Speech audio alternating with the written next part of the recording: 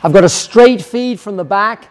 Bradley's going to come in and first of all, he's going to practice his drop shot. Now on this angle of the drop, he doesn't have much to play with, so he's not looking for that dead ball or into the nick or just above it.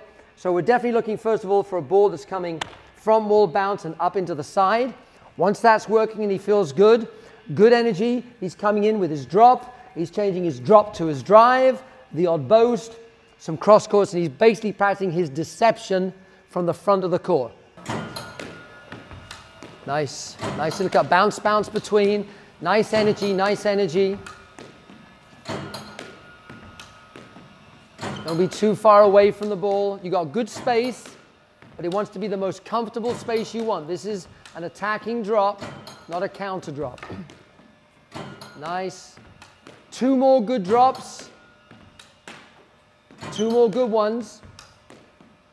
Last one, if it's good. Now mix it up. So with his drop, he's going to change whatever shot he wants. And the focus is really having him feel the same position.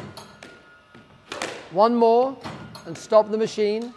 Now, I'm going to have Bradley come back a little bit more towards the tee, and I'm going to put, I want a little bit more movement on, in this drill. So Bradley, I'd like you to come from here, coming up, and just push back. And now coming up here, and it'll change the dynamics a little bit. It'll make it a little bit more realistic, and he'll feel the energy when he goes into his drive, because he's got energy now coming in when he weight transfers there. That drop to a drive position could be more effective, we hope.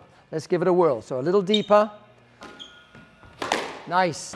Keep your head down on that. And again, we don't think winner. We're applying pressure.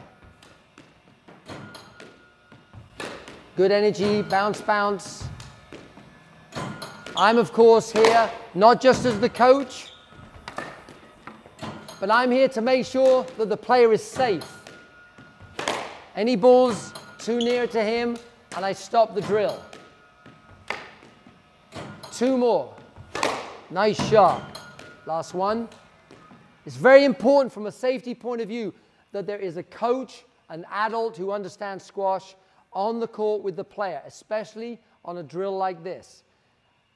He's moving, albeit not too far, but I'm responsible for his safety. He needs to be free in his head to practice properly and get the job done. Well done.